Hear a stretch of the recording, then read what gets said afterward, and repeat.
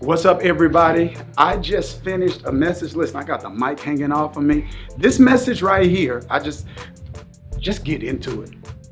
It's called You're Doing Too Much. Maybe you're doing the right thing, but the wrong way. I got one request of you. If this message blesses you, the only thing I'm asking you to do is share it with somebody else. Enjoy the message from you in New Jersey. You're doing too much. Got a, long way to go and a short time to get there. Matthew chapter number 11, beginning at verse number 28. This is what it says Come to me, all you who are weary and burdened, and I'll give you rest. Take my yoke upon you and learn from me, for I'm gentle and humble in heart. You will find rest for your souls. For my yoke is easy and my burden is light. Y'all, we got a word today. It's going to be tight, but I hope it's right. I want to talk from this subject, family.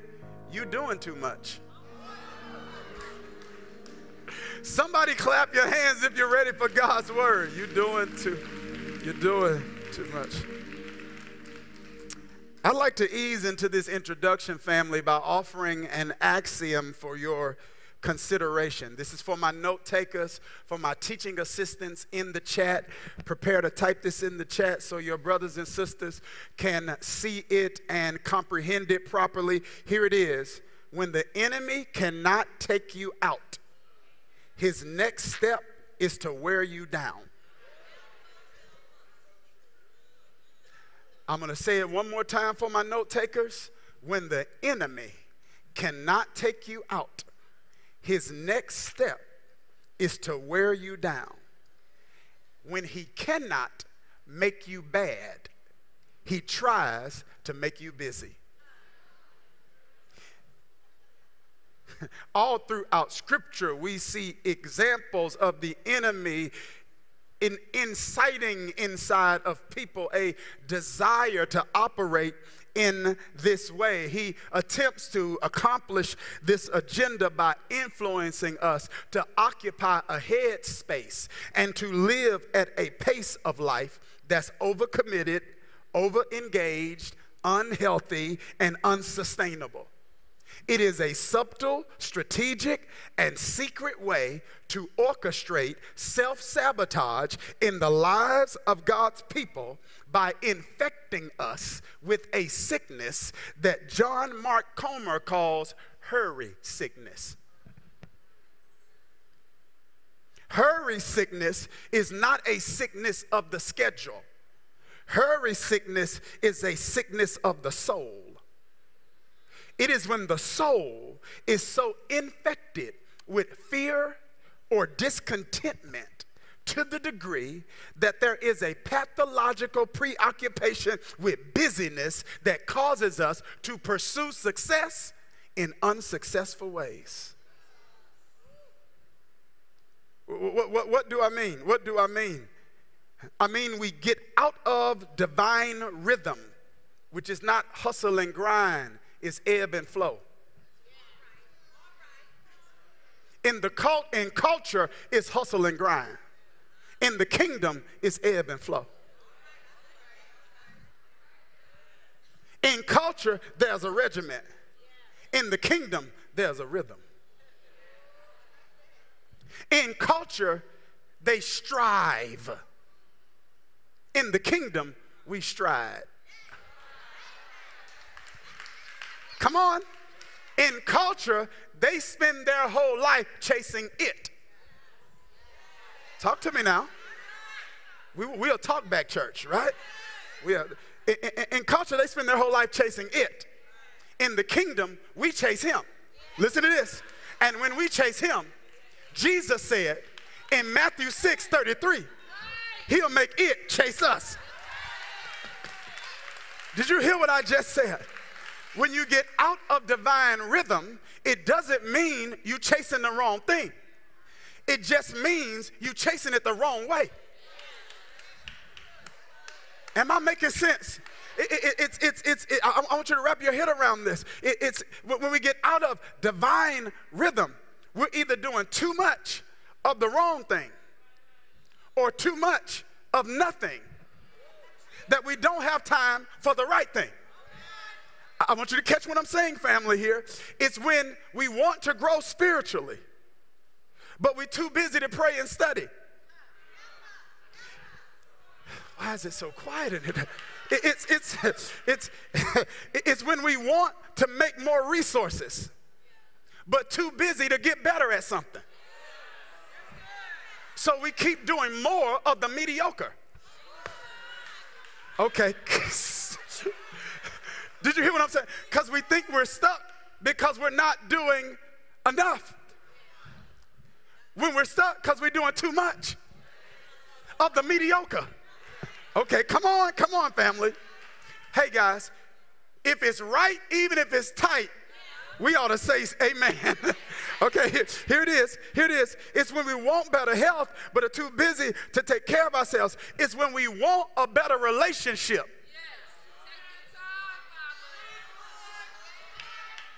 But we are too busy to sit down and talk and have tough conversations or get some help if we need some help. We're doing too much. It's a way of living that is killing us softly, killing our joy, killing our peace, killing our relational fulfillment, killing our financial stability, killing our professional advancement. And it is a life that is more reflective of the life of Adam and not reflective of the life of Jesus. If you will listen to me, I believe this can be one of the most transformative messages this year. I said when we live this way, it's more reflective of the life of Adam, the first human created, than it is of Jesus. Dr. Dharius, what do you mean by that? In Genesis 3, Adam makes a decision, because he wasn't deceived, that he is going to ignore God's priorities and prohibitions and pursue his own.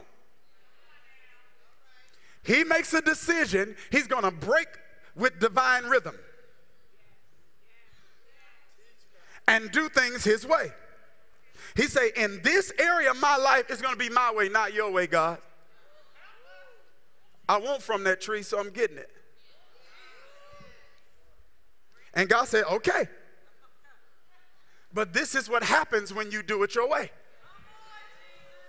He says, by the sweat of your brow. That sounds like grind to me. See, see, what? He said, by the sweat of your brow, you will eat your food until you return to the ground. Watch this. It's going to take sweat now for you to be for you to satisfy your appetite.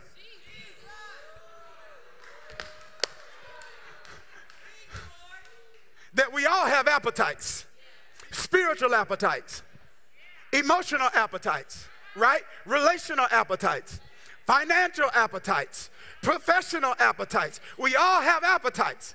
And God tells Adam, for you now to get your appetite satisfied, you got to sweat for it. Now, if you do it my way, I'll satisfy you without sweat.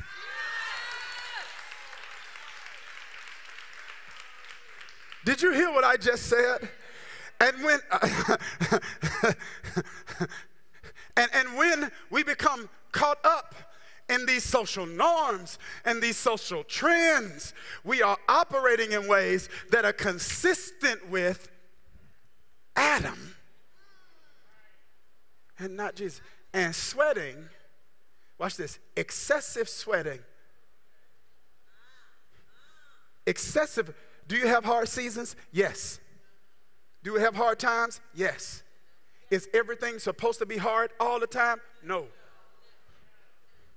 All my relationships ain't supposed to be hard. Am I teaching the truth, Brother Brockwell? And some, some of us know what it's like to deal with a degree and a dimension of frustration because you feel like I'm sweating, but I'm not moving.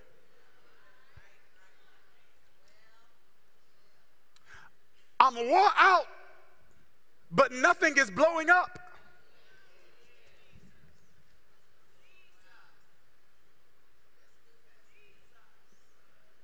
Am I making sense? And the danger is this sweating leads to a sick soul. And a sick soul has symptoms. And in his book, The Ruthless Elimination of Hurry, John Mark Comer says there are 10 symptoms that show up when you're doing too much. Can I give them to you real quick? I said, Can I give them to you? Okay, only this side want them. Who want them? Okay, here it is. Number one, excessive irritability. this is the most quiet sermon I've done. This, I got more amens in the studio. Here it is excessive irritability. Are we all irritable from time to time? Of course. But it's one thing to always be irritable. Come on, come on now. Where people you love and who love you get the worst from you.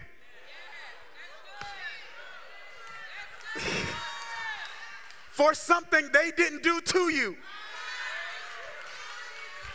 They didn't even do it, but they're doing the time for someone else's crime. When you're doing too much, you're irritable.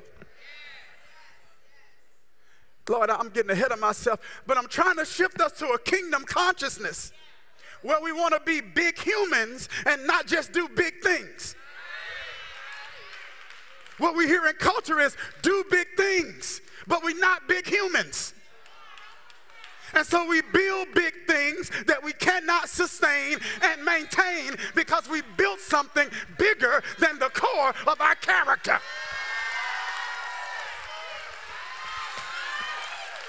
Did you hear what I just said? Your gift can build it, but your character can tear it down.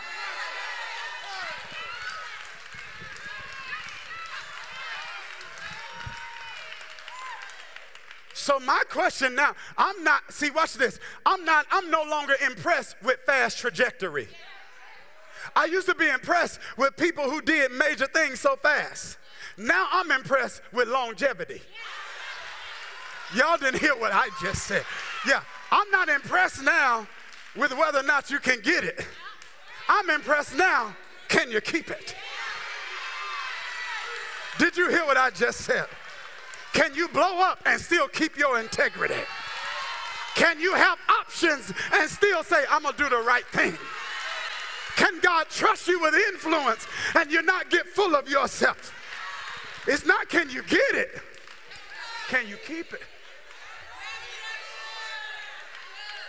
And I don't know who I'm preaching to today, but I believe I'm preaching to some people who are, who are at a season in your life who are, who are at the point in your own growth and development where you're saying, I'm ready to keep it. Yeah, I'm tired of getting and losing, having and not having. God, if you give it to me now, I'm going to keep it. Yeah. Yeah, if I got excessive irritability, I'm, I'm doing too much. Number two, hypersensitivity. A minor infraction causes a major blowup.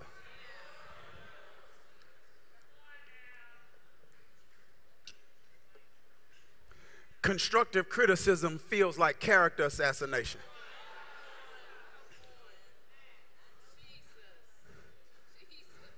It doesn't mean you're a weak person.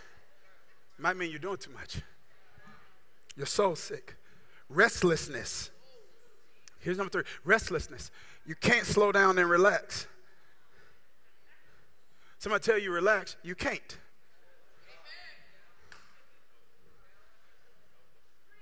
I'm telling you. Restlessness. You go on vacation.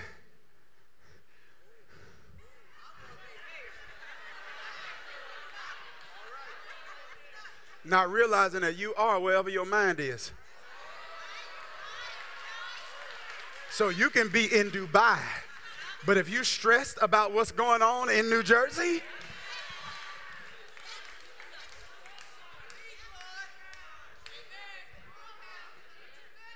Number four, workaholism. Where work becomes where work becomes an escape because you've attached your identity to it. So you don't know who you are if you couldn't do what you do.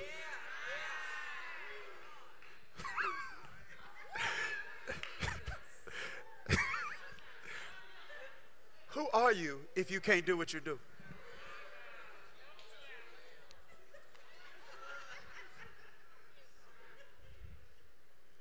Number five, emotional numbness.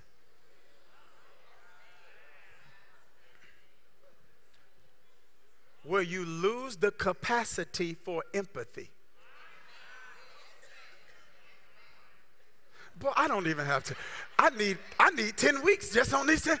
I says, it's where you lose it. See, watch this. See, sometimes we judge people who are emotionally numb without exploring what got them there.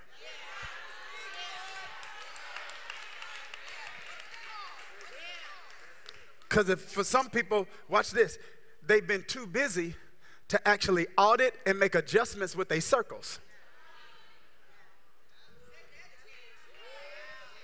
So they keep exposing themselves chronically to people who are consistently injuring them. So you have to be numb now to protect yourself because you're surrounded by people who don't know how to handle you properly.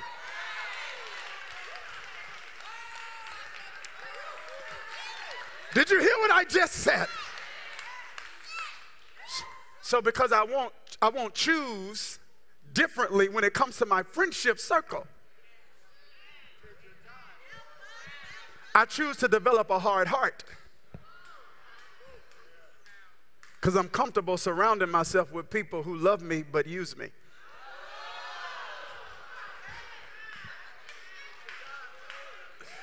Y'all okay? I got 10 minutes. Here it is.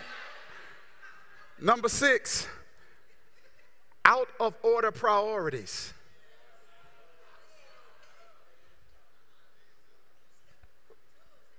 It's when I'm becoming so responsible for somebody else's irresponsibility that I'm unable to be responsible for my responsibilities. Can, can, we, can we go here for a minute? I say, can we go here for a minute?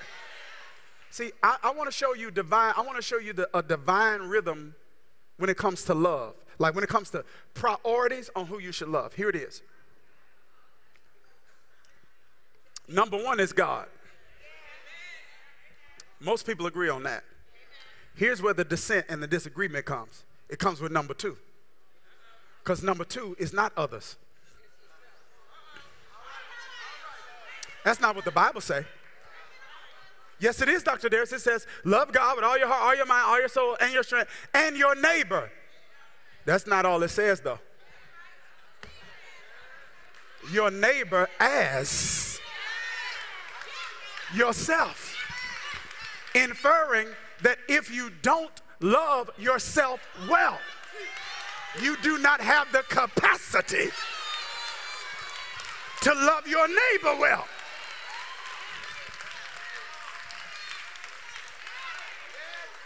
I'm not saying be obsessed with self. I'm not saying be caught up in self. I'm not saying idolize self, but you got to love yourself.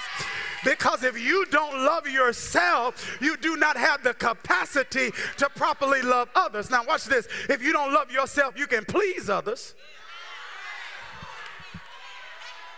Yeah, right? Because most people pleasers don't love themselves properly.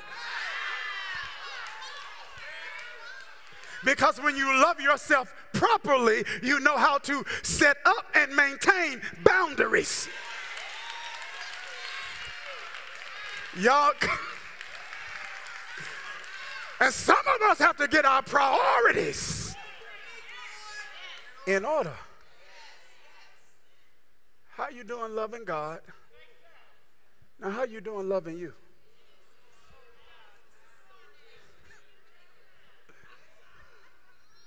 This is what David said. He said, I'm fearfully.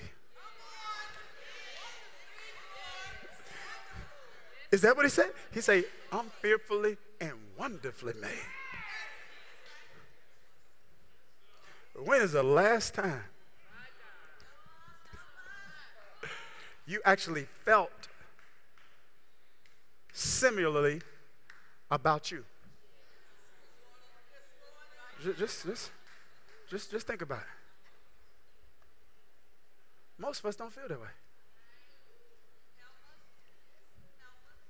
We are absorbed with, preoccupied with our imperfections.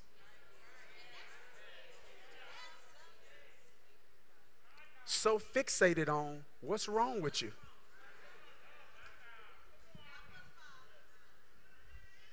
And you, watch this, because if you don't appreciate the value that you bring to others, how do you expect them to?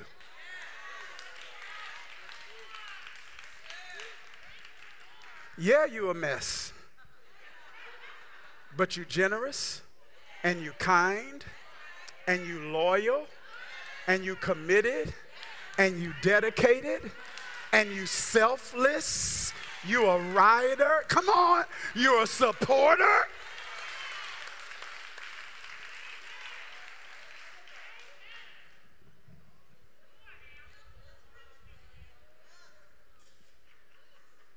Out of order priorities, lack of care for our bodies, too busy to take care of us. Number eight, escapist behaviors, becoming preoccupied with distractions. Number nine, slippage of spiritual disciplines. Too busy for God. I'm not going to bother this because I'm going to talk about it in a later message because uh, you got spiritual strength like Samson had natural strength but your spiritual strength is connected to something that Delilah, which is a metaphor for whatever the enemy wants to use to seduce you, wants to cut off. So the enemy uses seduction to cut off the thing that's giving you strength. So we. And when I say seduction, I'm not just talking about physical seduction. I'm talking about he uses something that's seemingly attractive to pull us away from the thing that gives you spiritual strength. And so we surprise when we end up spiritually weak, but you're not doing the thing that keeps you spiritually strong. And you're not doing the thing that keeps you spiritually strong because you let Delilah get your attention. Delilah can be friends. Delilah can be television. Delilah can be the club. Delilah, is Kathmandu still open or no? No. Okay, no. Okay. Delilah, what, what, Delilah can be whatever.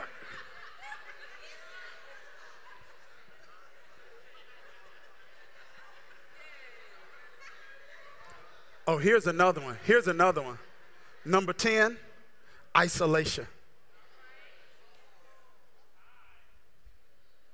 You're doing too much. You're surrounded by people but still feel lonely.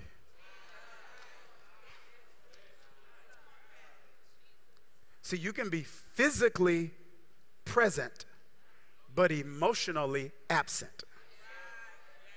Some of us are surrounded by people that really don't even know where you are right now in this season.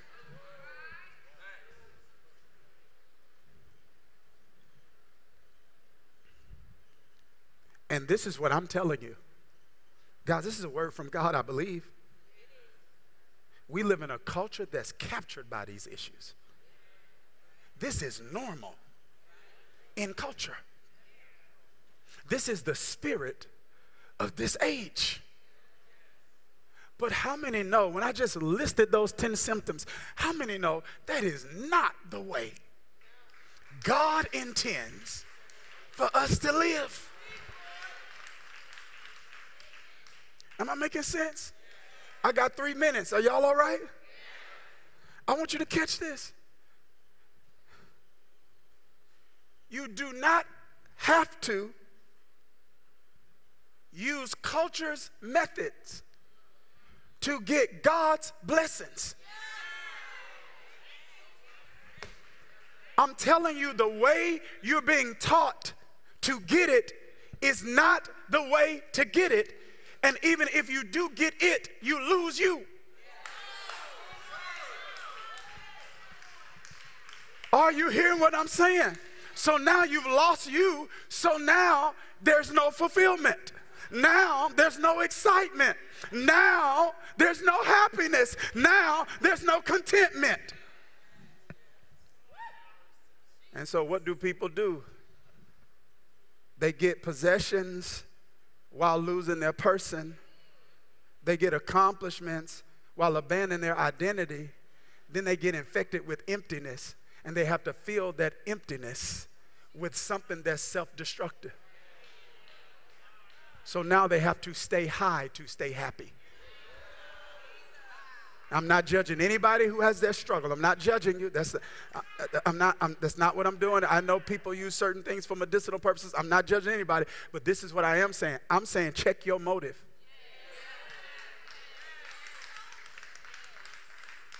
And am I having to always depend to depend on something to bring me down? Let me mellow me out.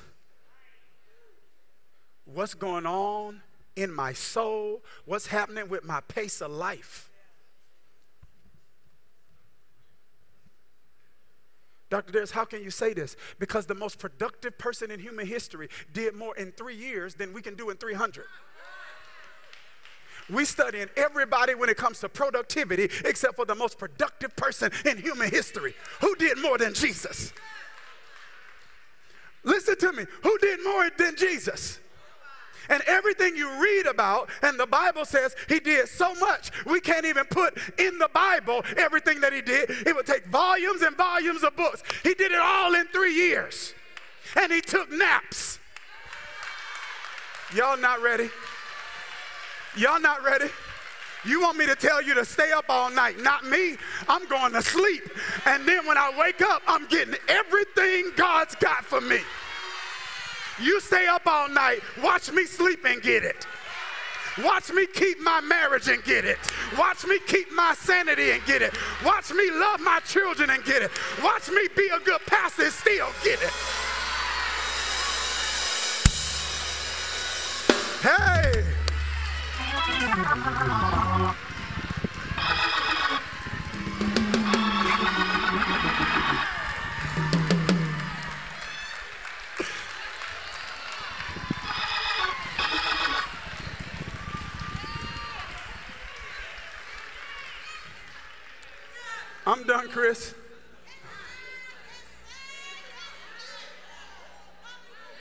So, the most productive person in human history looks at a group of people who are practicing religion in a way that feels like a heavy yoke.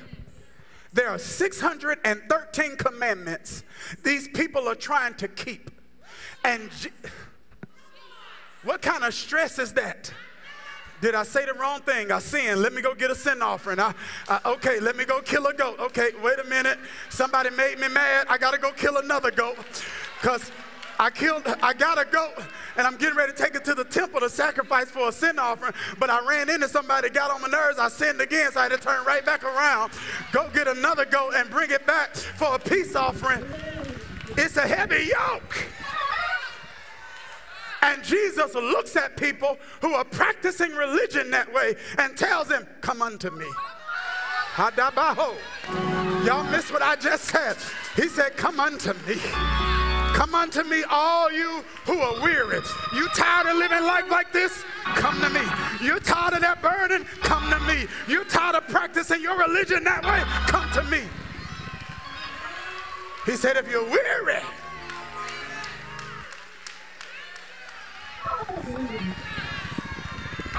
and heavy laden. Come to me. Now I want you to, I want you to, I want you to watch what he says here. I'm done. He says, I want you to come to me. He says, take my yoke upon you. Meaning, this thing you've been yoked up with, get out from underneath that. And put my yoke upon you. And watch what he says now. He says, For I'm gentle He say, life handling you harshly. Life is harsh. You've been handled harshly. He say, I'm gentle. And watch what he says. You will find rest for your soul. Teach it, teach it. Not rest for your body. He said, I'm going to give you something sleep can't. Because some of you sleeping, but you're still tired.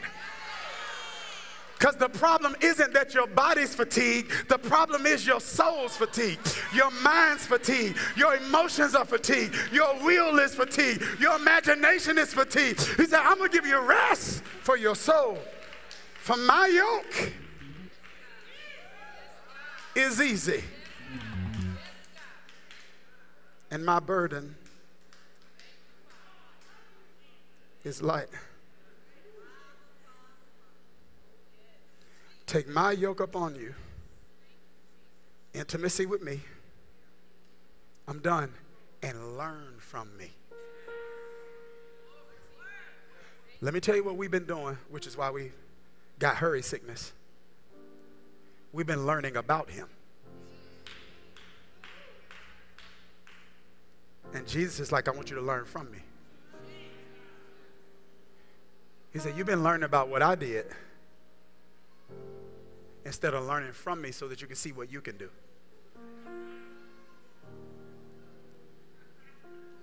Say disciples, he said, I got such good rest. We was in the middle of the storm. The disciples had to wake me up. I'm on the same boat. they, they say, Don't you care that we perish? He said, uh, Peace be still. What y'all want to eat?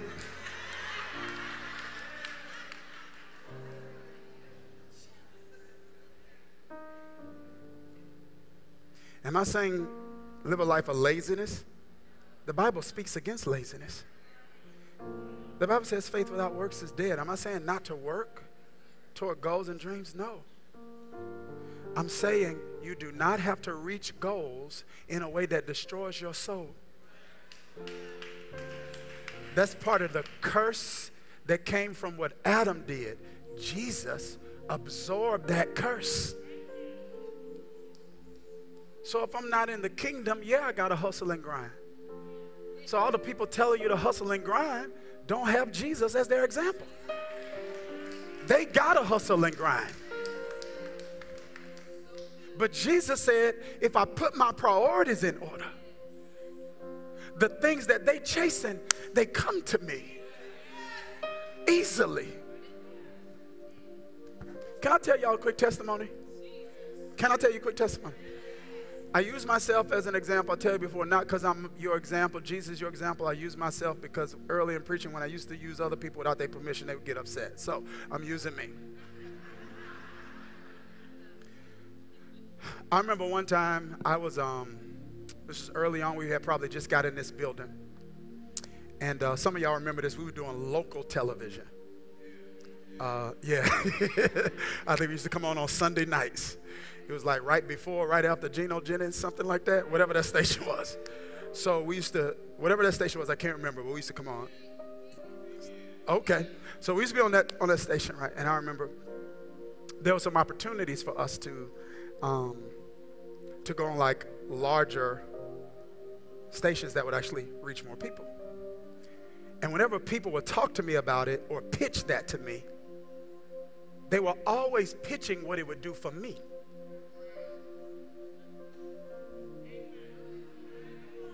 Dharius, if you do this, it's gonna, it's gonna blow you up, man. You're gonna be a household name if you do this. And I always hear it and I would say, man, they're always talking about what it's gonna do for me. But local TV actually helps the church.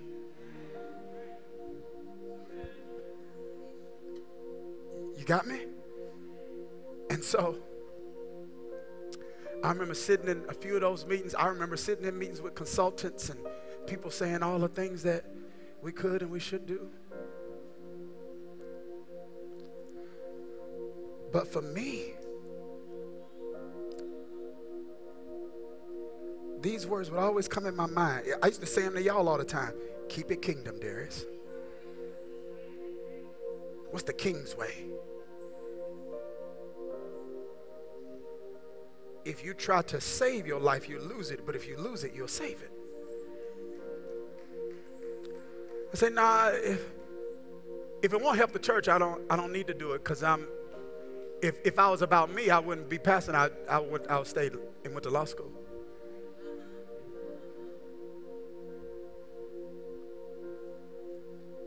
I made some tough decisions. Man, you should do this. I said, no, we're going to invest in staff because the ministry is not in the building, the ministry is through the people.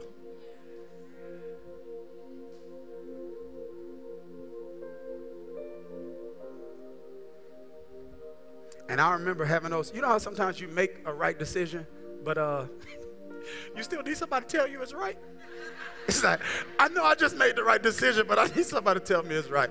And there was this one time, anyway, I was sitting, I was having a conversation with, uh, I don't like to name drop, but I was having a conversation with a really influential leader. We were in New Orleans.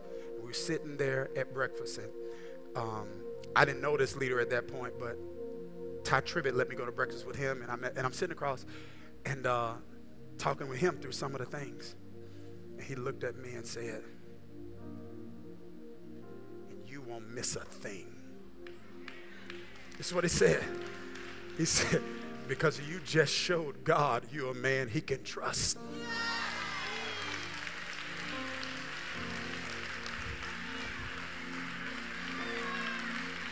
Woo! And not too long ago, I hugged that leader after I had spoke at an event, and he whispered in my ear, I told you.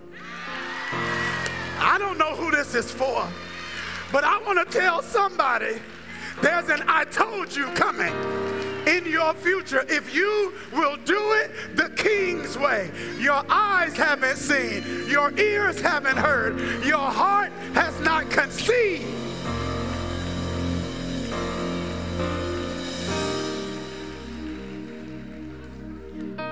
So I don't care if you feel behind schedule. I don't care if you feel like your exposure doesn't match your potential. I don't care if you feel like what you're doing is not working. Do not break divine rhythm.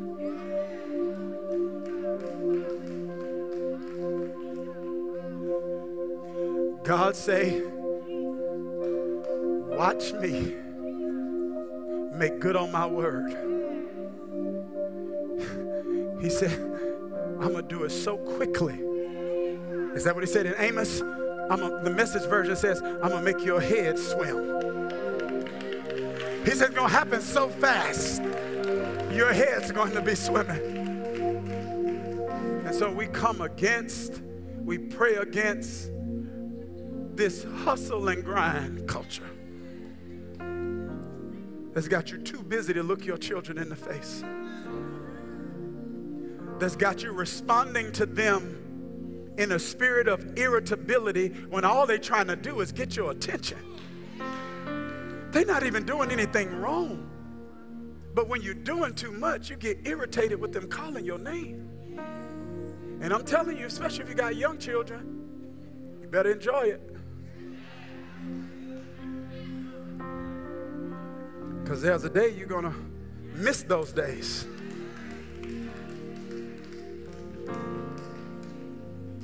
People ask me about parenting older children, I say when they're young, you got to kick them out of your room. When they get older, you got to try to drag them out of theirs. You don't want to live that way. Some of you not everybody, but some of you, you got a good spouse. God has blessed you. I'm not saying they not, some of you don't. It doesn't mean they're a bad person, they're just not good at marriage. Did he just say that? Yes. But when you're doing too much, you don't even have time to properly value and appreciate the good thing God gave you. I'm gonna tell y'all something. Some of these mothers, these mothers around here, y'all don't even understand this. This is why we always gonna have a generation of diverse church. Some of these mothers around here, my wife and I got married in our early 20s.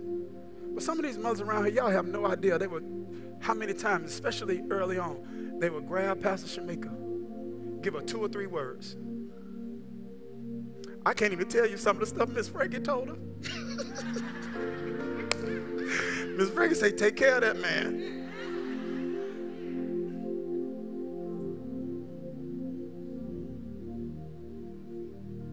I'm afraid we're losing that, y'all.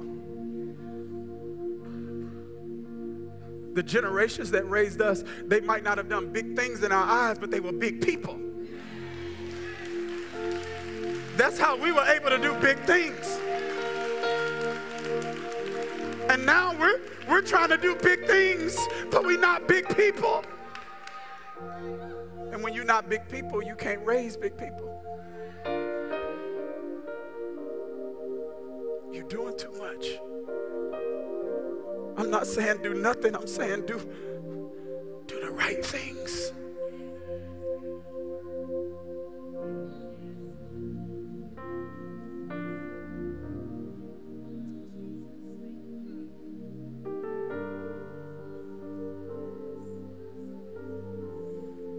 I'm done. I don't think we talk about this enough. I'm going to say one more thing. Sometimes when you hear a message like this and the Holy Spirit brings some conviction, you start thinking about all the stuff you wish you could do over in the past and you start feeling bad. See, don't let the conviction, don't let the devil take conviction and create condemnation. I feel that, and we just, we speak against that right now. You will not let the devil tell you how bad a person you are. I hear that. I speak against that. That you mess your children up. I speak against that.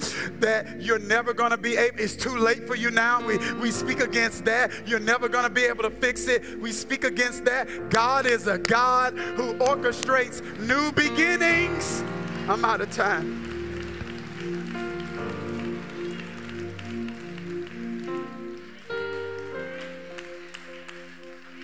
Final blessing. We want safety. May the Lord God bless you and keep you. May God cause his face of favor to shine upon you. How about so? May God be gracious to you. May he protect you. May he provide for you. And above all else, may he grant you peace. This is my prayer for your life in Jesus' name. Amen. God bless you. I love you.